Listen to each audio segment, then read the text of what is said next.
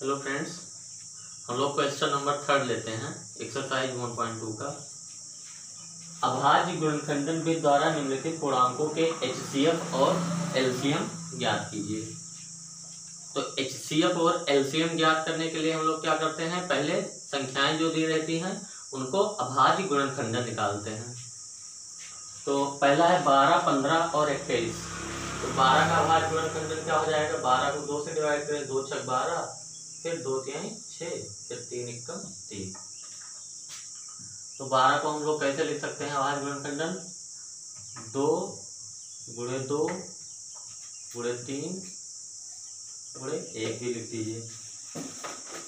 फिर पंद्रह का भाज्य गुणनखंडन करेंगे तो पंद्रह को तीन से कटेगा, तीन बचे पंद्रह, पाँच पाँच। तो पंद्रह बराबर क्या हो जाएगा? तीन गुणे पाँच गुणे एक। फिर इक्कीस का क्या हो जाएगा? तीन गुणे सात गुणे एक। तो एच सी एफ़ निकालते हैं सबसे पहले H C F H C F क्या होता है? जो वो संख्या जो तीनों में कॉमन हो। तीनों में, तीन का निकाल रहे हैं तो तीनों में क्या होना चाहिए? कॉमन होना चाहिए और उसकी सबसे छोटी घात। तो यहाँ पे क्या कॉमन है? तीन यहाँ पे इसमें भी है, इसमें भी है और इसमें भी है। और तीन की सबसे छोटी घात क्या है? एक ही है। तो एच कितना आ गया? तीन आ गया। और एलसीएम निकालने के लिए क्या करते हैं? जो तीनों में कॉमन हो, उसकी सबसे बड़ी घात। तो तीन कॉमन है और तीन की सबसे बड़ी घात तीन ही है। उसके बाद जो कॉमन है, उसका बात खत्म हो गया। जो सारे बचे हैं, वो वैसे के वैसे हो जाएँगे। तो ये टू इंटू टू यहाँ से आ गया और इंटू फाइव यहाँ से आ गया। इंटू सेवन यहाँ से आ गया। तो ये कितना हो गया? पाँच उन्नीस दस उन्नीस बीस साठ चार सौ बीस। तो एच सी एफ़ कितना आ गया? थ्री आ गया और एल सी एलसीएम कितना आ गया? चार सौ बीस। H C F L C LCM निकालने के लिए फिर वही बात। अभाज्य गुणनखंडन लिखते हैं, उसके बाद एच वो होता है जो कामन हो और उसकी सबसे छोटी घात। तो तीन यहाँ पे तीनों में कामन और सबसे छोटी घात वन ही है। एलसीएम क्या होता है? जो कामन होता है उसकी सबसे बड़ी घात। तो बड़ी घात भी तीन ही है। तीन की घात एक ही है। और जो बाकी बचे रहते हैं, जो कामन नहीं है, सारे के सारे वैसे उतर जाते हैं। तो ये पहला हो गया। दूसरा हम लोग देखते हैं सत्रह, तेईस और उनतीस।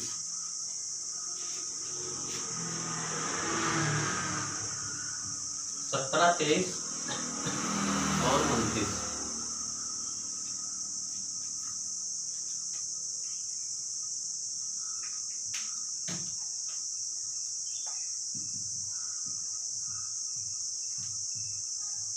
सत्रह तेईस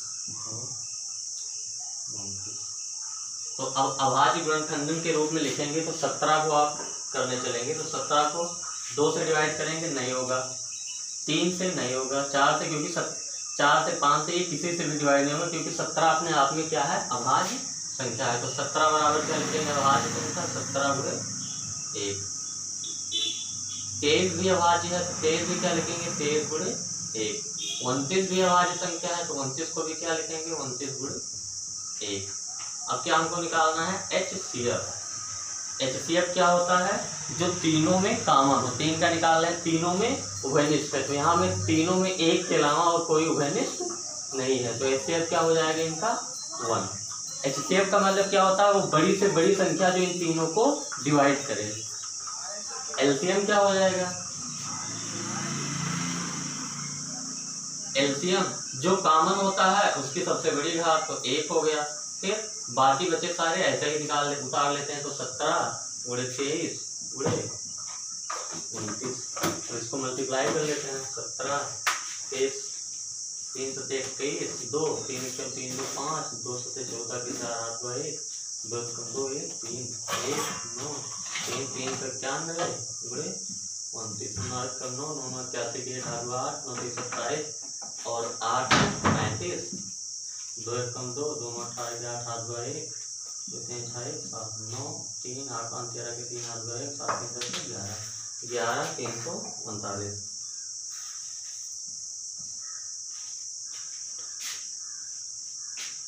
ये सेकंड पार्ट हो गया। एक पार्ट इसमें और बचा है। थर्ड पार्ट है। आठ, नौ और पच्चीस। तो हम लोग देख लेते हैं इसका आठ, नौ और पच्चीस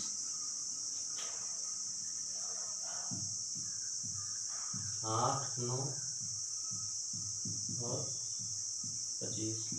सबका भाज्य गुणनखंडन लिखेंगे तो आठ का करिए। आठ को सबसे पहले दो से डिवाइड करिए दो चौक आठ, ये फिर दो से कट रहा दो दूनी, चार, दो एक दो।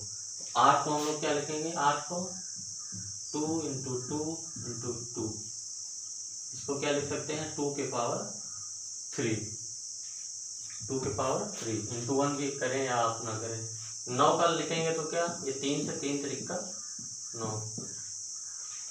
नौ का भाज्य गुणनखंड के रूप में लिखेंगे तो थ्री इंटू थ्री ये क्या हो जाएगा? थ्री के power two three into three दो बार मल्टीप्लाई हो तो पच्चीस को करेंगे तो पच्चीस को क्या होगा? पचहम पच्चीस। यानी फाइव इंटू फाइव इंटू इसको क्या लिख सकते हैं? फाइव के पावर टू अब हम लोग क्या निकालेंगे? H C H C F क्या होता है?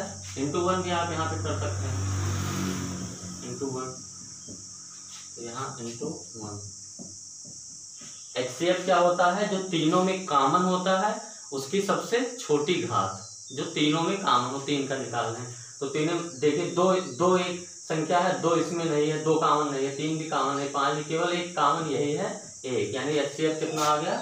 वन एलसीएम क्या होता है?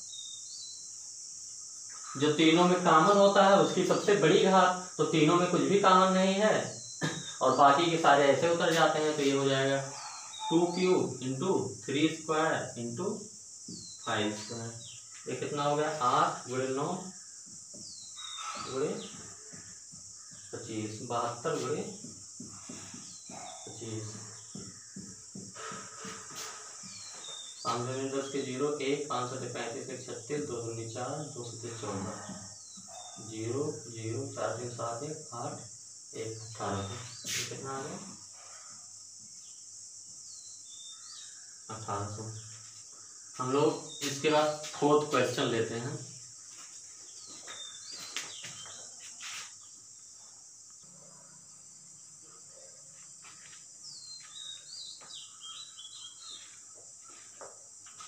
क्वेश्चन नंबर फोर्थ लेते हैं हम लोग। इसमें दिया है कि H C F three zero six comma six five seven equal to nine दिया है और एलसीएम इन दोनों का ज्ञात करना है।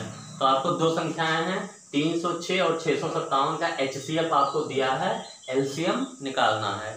तो एक तरीका तो ये हो सकता है कि एलसीएम और एच सी एफ़ निकालने के लिए आप क्या करें, तीन सौ छः और छः सौ सत्तावन को अभाज्य संख्याओं के गुणनफल के रूप में लिखें, उसके बाद एलसीएम निकालें। लेकिन यहाँ पे जो एच सी एफ़ दिया है तो हम लोग क्या यूज़ करेंगे? हमको पता है कि दो संख्याओं के लिए ए और बी के लिए H C F of A B into LCM of A B यानी दो संख्याओं ए और बी का H C F multiplied by उनका एलसीएम इक्वल टू क्या होता है? ए इंटू बी उनकी संख्याओं के गुणनफल के बराबर होता है, ये हमको पता है पहले से। तो अब हम लोगों को एच सी एफ़ दिया है। H C F three zero six comma six five seven equal to nine दिया है और एलसीएम निकालना है।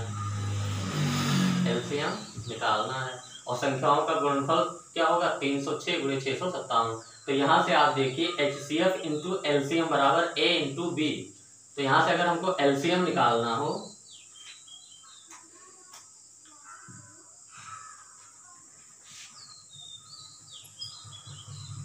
यहाँ से एलसीएम निकालना हो तो एलसीएम ए भी क्या हो जाएगा?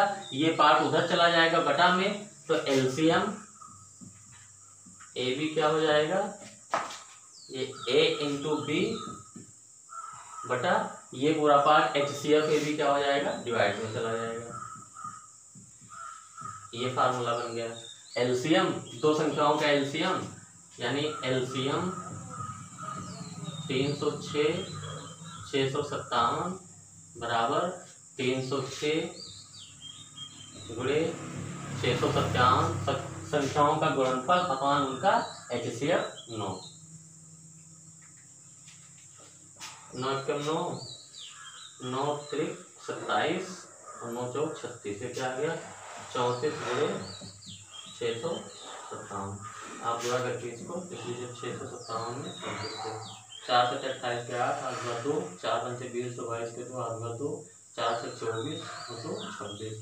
तीन सौ इक्कीस के एक, आठ बार दो, तीन सौ पंद्रह दो सत्रह के सात, आठ बार एक, तीन सौ अठारह, एक उन्नीस।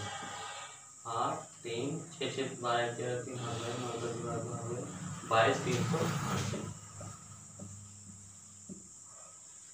तो इसका भी यूज़ कर लेते हैं हम लोग कि ये, हमको ये याद होना चाहिए कि एचसीएफ अगर पता हो दो संख्याओं का तो एलसीएम आराम से निकाल सकते हैं बिना अभाज्य गुणनखंडन के, क्योंकि दो संख्याओं ए और बी का जो LCM into H C F into LCM जो होता है, वो संख्याओं के गुणनफल के बराबर होता है। तो यहाँ पे एच सी एफ़ पता है और दोनों संख्याएँ पता है तो यहाँ पे एलसीएम क्या हो जाएगा दो संख्याओं का? संख्याओं का गुणनफल बटा एच सी एफ़ तो यहाँ से आपको एलसीएम निकालना था तो संख्याओं का गुणनफल, संख्याएँ थी आपकी। तीन सौ छः और छः सौ सत्तावन बटा एच सी एफ़ आपका क्या था? नौ था। तो सीधा सीधा हम लोगों ने ये कर दिया। ये फोर्थ क्वेश्चन हो गया। हम लोग अब फिफ्थ क्वेश्चन लेते हैं।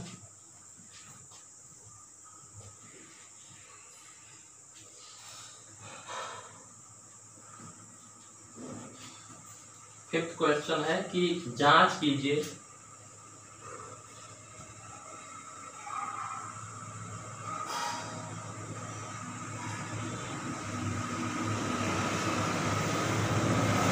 जाँच कीजिए कि क्या किसी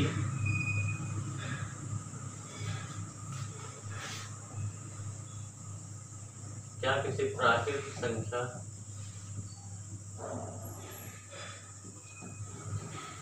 n के लिए। क्या किसी प्राकृतिक संख्या n के लिए। संख्या?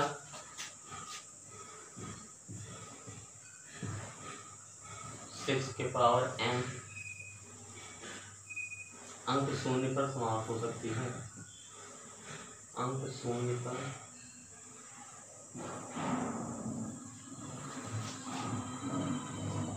समाप्त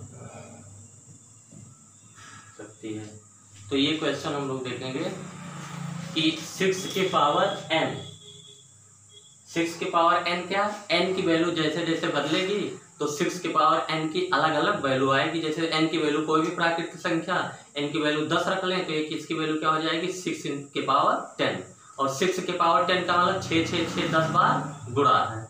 तो जैसे जैसे सारी प्राकृतिक संख्याएँ लेंगे तो सिक्स के पावर एन की अलग अलग वैल्यू आएगी। तो ये पूछ रहे हैं कि एन की क्या कोई ऐसी वैल्यू मिलेगी जिसके लिए जो सिक्स के पावर एन का जो नंबर आएगा, इनको जो मल्टीप्लाई करें तो जो अंक हमारा बन के आए, वो उसके अंत में ज़ीरो रहे लास्ट में ज़ीरो तो सिक्स के पावर एन हम लोगों के पास क्या है? सिक्स के पावर एन एन प्राकृतिक संख्या है। जैसे मान लेते हैं एन बराबर अगर हम एक रखें तो ये क्या हो जाएगा? सिक्स के पावर वन एन बराबर अगर टू रखें तो ये सिक्स के पावर टू हो जाएगा और इसकी वैल्यू क्या होगी? सिक्स इंटू सिक्स एन बराबर अगर तीन रखें तो ये सिक्स के पावर थ्री वैल्यू देगा। सिक्स के पावर थ्री का मतलब six into six into six three बार एन की वैल्यू ऐसे मान ले, दस रखें तो सिक्स के पावर टेन हो जाएगा। और सिक्स के पावर टेन का मतलब छः गुड़े छः गुड़े छः गुड़े छः गुड़े छः कितनी बार दस बार छः सात, आठ, नौ, दस. ऐसे ऐसे हम लोग क्या रखेंगे? जब एन रखेंगे तो सिक्स के पावर एन का मतलब क्या होगा? सिक्स के पावर एन का मतलब क्या है? कि six into six into six into six कितनी बार गुणा है? एन बार। जैसे यहाँ पे दस होता तो दस बार, यहाँ पे एन है तो ये एन बार छः गुणा है। सिक्स के पावर एन का ये मतलब हुआ।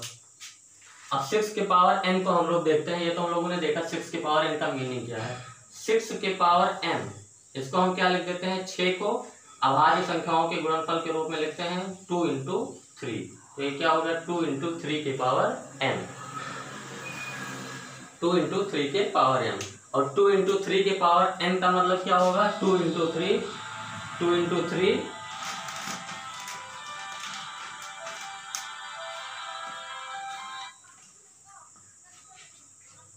two into three two into three two into three क्या होगा? एन बार मल्टीप्लाई होगा ये देखिए टू इंटू थ्री एक बार, फिर टू इंटू थ्री अगली बार होगा।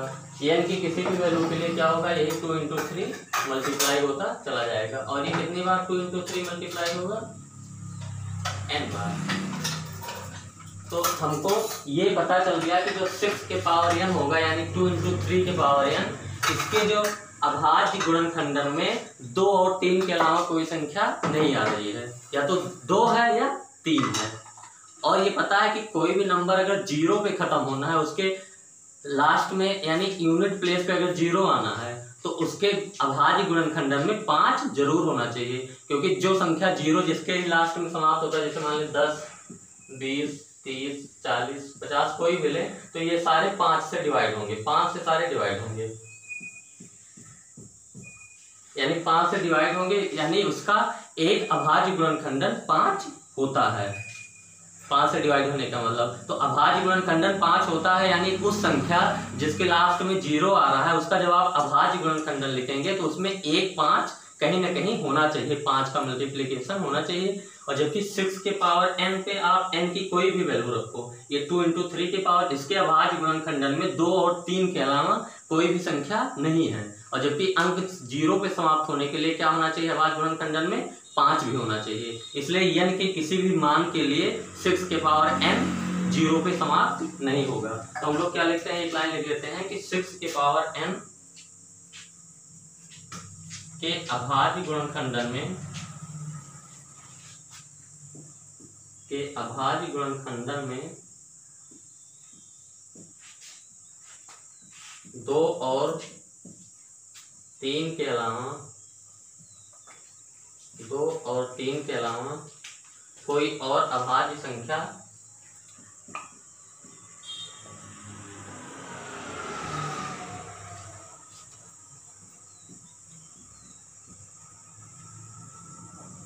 दो और तीन के अलावा और कोई अभाज्य संख्या?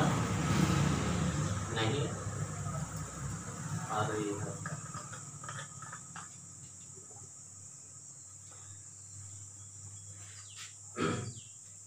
सिक्स के पावर एन के मान को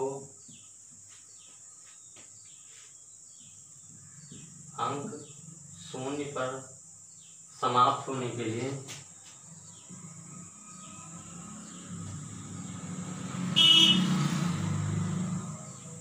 समाप्त होने के लिए उसके अभाज्य गुणनखंडन में पाँच होना चाहिए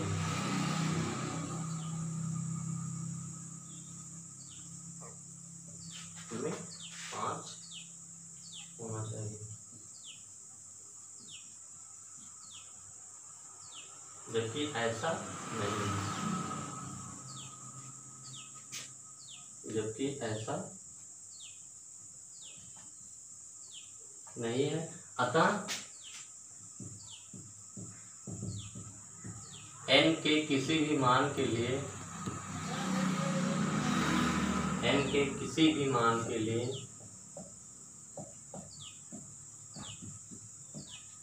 सिक्स के पावर n कभी अंक शून्य पर समाप्त नहीं हो सकता।